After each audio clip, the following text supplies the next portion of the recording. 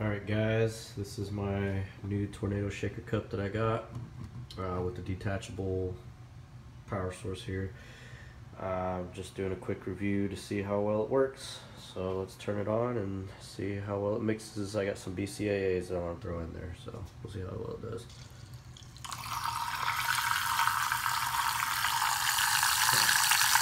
Seems to be working pretty good. Got some powder in.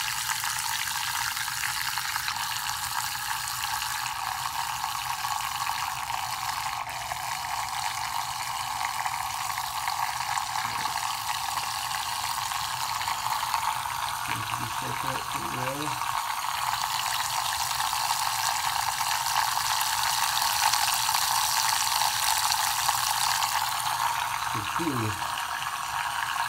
Alright, turn off, see what we got.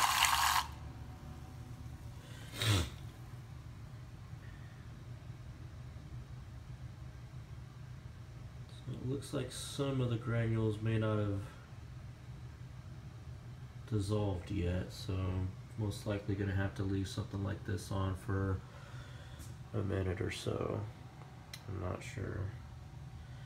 yeah, you can see how along the edges here, some of it's not dissolved, didn't mix up very well. A uh, little bit of a disappointment, thought I was going to be better than that. I'll try again later on with uh, some protein powder and milk and see how well that turns out. I'll make another video for that. Thanks for watching. Bye.